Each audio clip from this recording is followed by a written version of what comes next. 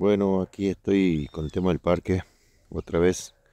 Este, una vergüenza que los chicos pobres no pueden, no pueden cuidar, mantener el, parque todo sucio, tiran un palo, todo. Este, bueno, y ahora me doy con la con este tema que cortaron la soga, cortaron con cuchillo, no sé qué, y bueno, se robaron, se la hamaca que, que había hecho para ellos. Lástima que no cuiden, no, no da, digamos. ¿Para qué voy a volver a poner las sogas si bueno, si va a volver a hacer lo mismo, si se van a robar todo de nuevo? Este, me costó hacer esto por los chicos, pero la verdad que es una tristeza grande, digamos, que no duró mucho, digamos. Rompieron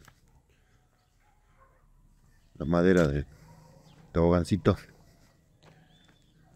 Y bueno, de sub y baja también. No, no se puede creer que, que rompan todo, digamos. Bueno, uno con tanto esfuerzo hace para, para los chicos de los vecinos, más que nada, porque mi hija, a pesar que vivo acá al frente, ella ni viene para acá. Este, me da mucha pena, digamos, por los chicos. Tenían sí su lugar de, de encuentro acá y, y bueno, no era mucho, pero era lo que, lo que podía brindarle, digamos. Los sillones también una pena. Había había, lo había hecho bien bonito, todo tapizado, pero no quedó nada del tapiz. Y bueno, quedó todo así. Y la verdad que está todo sucio, todo mal.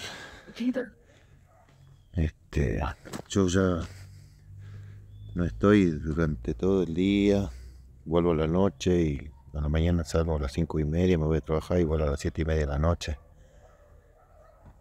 Una pena que no, no lo hayan podido cuidar, digamos. Quedaron dos hamacas y más la goma también. Después todos los demás se, robaron todas las, cuerdas y la hamaca. Bueno, no sé qué más decirles, la verdad que me da impotencia, digamos, pero bueno, ya está.